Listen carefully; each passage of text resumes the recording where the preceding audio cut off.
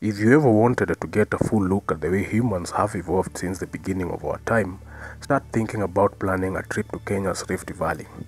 Come 2022, plans are underway for breaking ground on a new museum highlighting the 2 million years of human history, from the very first tools to the digital world we live in today.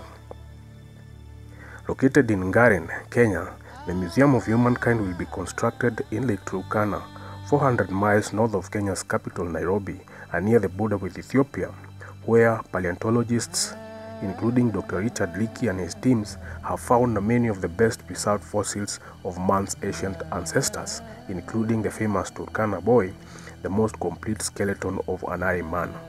The surroundings, the jagged cliffs of the Rift Valley, only set the scenes for what you'll find inside. The exhibits are all-encompassing, covering all of the highs and lows of human life, war, overpopulation, technological advances, evolution and climate change, among other important topics. The role of Africa and its roots of nurturing human life will also be a constant theme throughout the museum.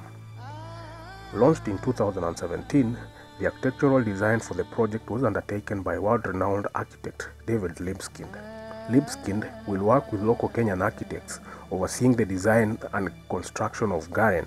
The museum will emerge from within the awesome landscape of Rift Valley. Described by Libeskind as a vertical stalactite, the museum's monolithic forms were inspired by ancient hand axes that were the first tools of early humans. Inside, the building will house a series of interactive, architecturally dynamic and provocative exhibitions. The building comprises tapered and pointed structures that resemble the shape of a primitive stone tool. I design ideas show a cluster of irregularly shaped buildings inspired by Stone Age hand axes and other tools unearthed nearby. The central hall rises 15 stories above the desert.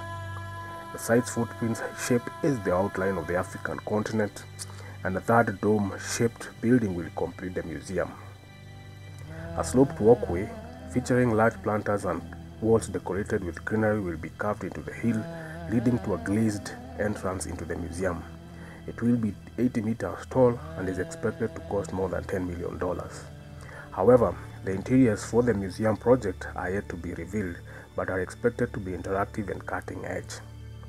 Using state-of-the-art technology, Ngaren will be an educational and scientific experience inviting visitors on a journey through the origins of the universe and the story of our planet. The Museum of Humankind is expected to break ground in 2022 and open to the public in 2024.